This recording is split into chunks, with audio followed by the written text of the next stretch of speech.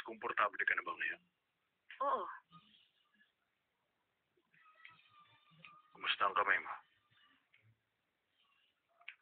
Okay na. Naigagalaw ko na ulit siya. Dilaan lang to ni Razor, gagaling na ako. Mas maganda sana kung kasama natin siya ngayon.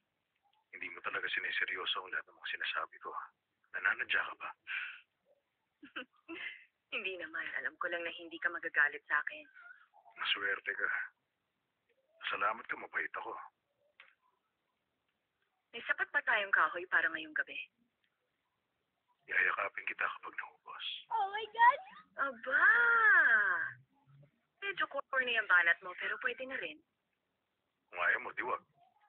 Okay.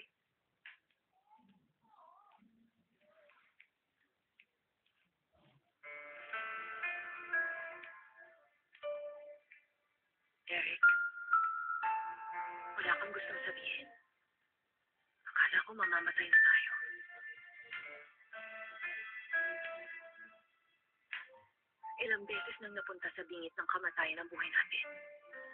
Pero iba yung naramdaman ko. Ang pakiramdam ko, yun na talaga ang katapusan natin. Ang akala ko hanggang doon na lang tayo.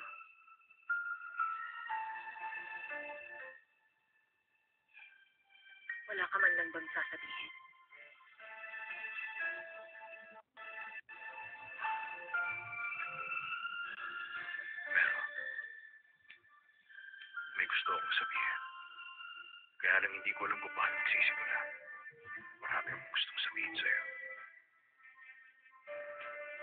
Pwede kang magsimula kung saan mo gusto. Nakikinig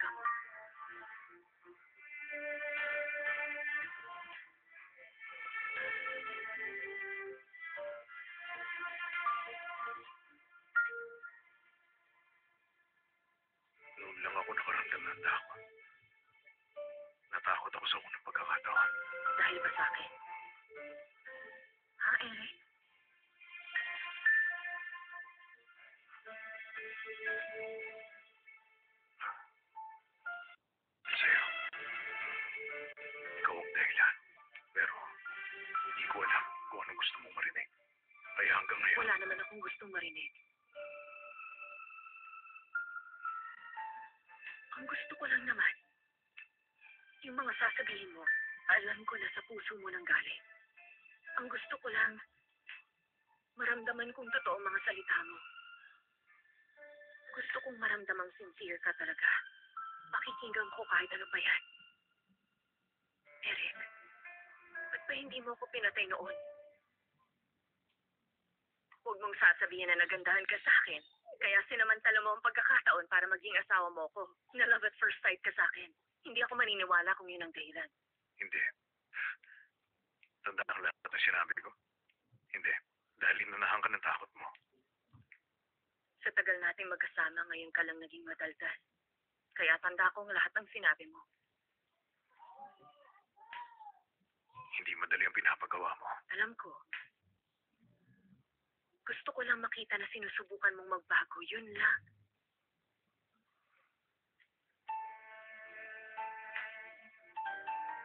Alam mo kalagayan ko.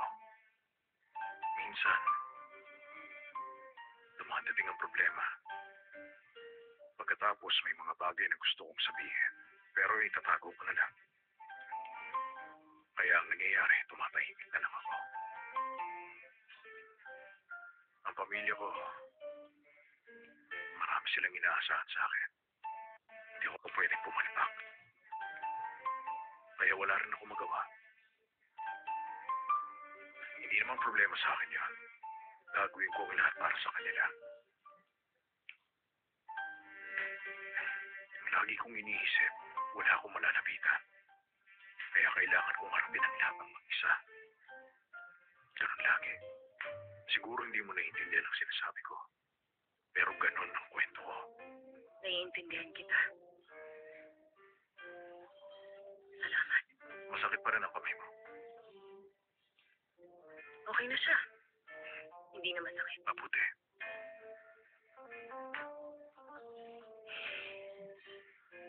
Maraming salamat. Para saan? Salamat. Dahil sa wakas, ipinakita mo kung sino ka.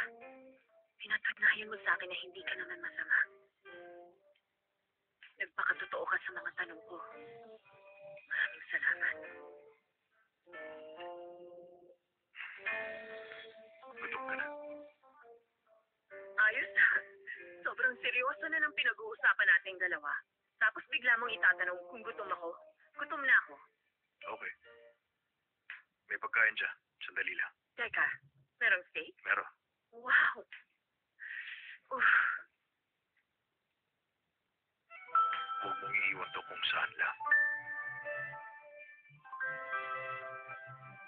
Dapat palagi mo itong suha.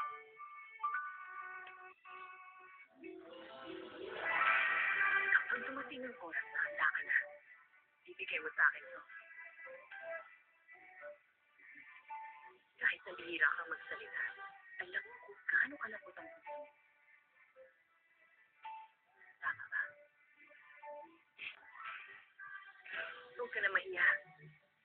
ko naman inaasahan na luluhod ka pa sa harap ko at sasabihin, Ashley, pwede bang ikaw maging asawa ko? Kasal na tayo, di ba? Talaga? Kasal na ba tayo? Seryoso ba yan?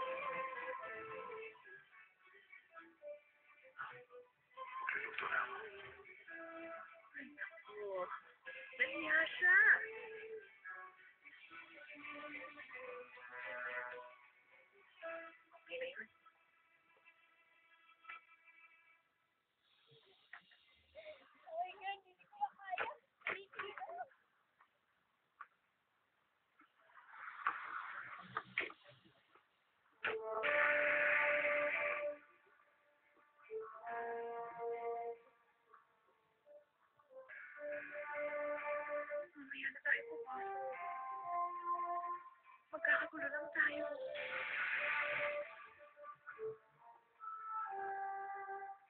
Wala kang dapat ikatakot, Laura.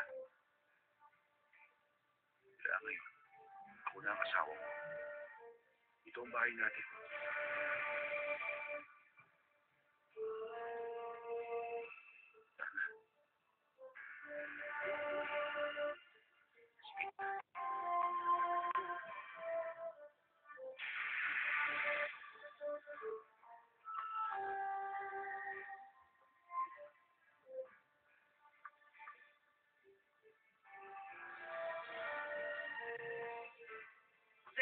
Femi, nasa si Julia?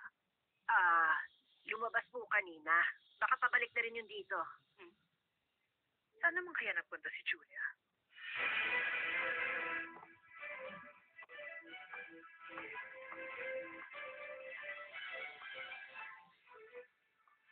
Anong ginagawa niya rito? Sumagot ka! Asawa ko na po si Laura. Mula sa araw na to, dito na ulit sila titira ng anak niya. Wala na kayong magagawa. Kasal na kami. Ito ang patunay.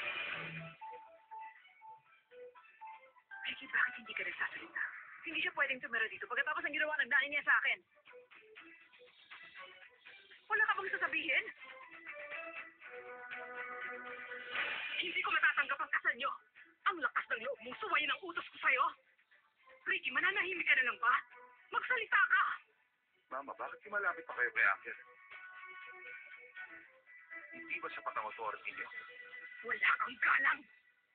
Sabi ko sa inyo, wala akong balak na sundin ang kahit na anong iuutos siya sa akin. Ricky, bakit tahimik ka lang dyan? Ang sabi mo sa akin kaninang umaga, wala na akong dapat ipag-alala. Pero bakit ngayon kabaliktaran ang nangyayari? Babalik na rin ba si Amber dito? Siya na lang ang kulang para makumpleto ulit ang pamilya niyo. Akala ko susuportahan mo ko. Pero bakit wala kang inik dyan? Panindigan mo naman ang posisyon mo! Hmm. Wag lang.